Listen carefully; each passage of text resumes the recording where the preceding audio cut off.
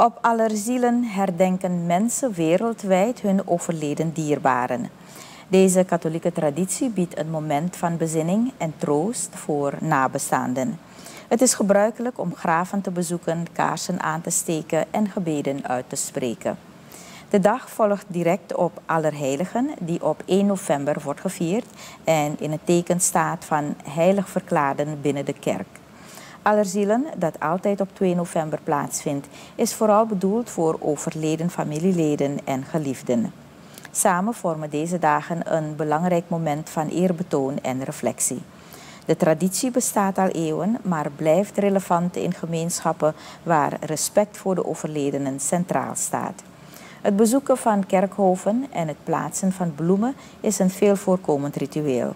Voor velen biedt het een kans om verdriet een plek te geven en het verleden te eren. Allerzielen versterkt de verbondenheid met degene die zijn heen gegaan en het belang van herinnering.